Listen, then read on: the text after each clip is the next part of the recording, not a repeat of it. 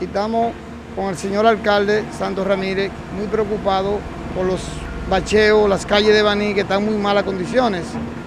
Pues todo el mundo sabe que la Verel es un tránsito de vehículos pesados.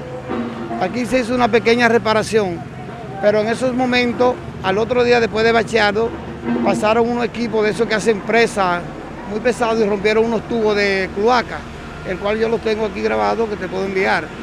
Y nos dañaron la base de abajo, estamos sacando la base de que es un lodo y le estamos poniendo un granzote para reparar eso.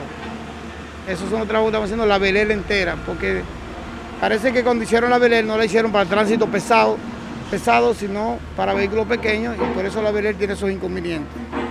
No tuvimos la suerte y pasaron unos equipos de esos grandototes y, y dañaron los tubos de la cloaca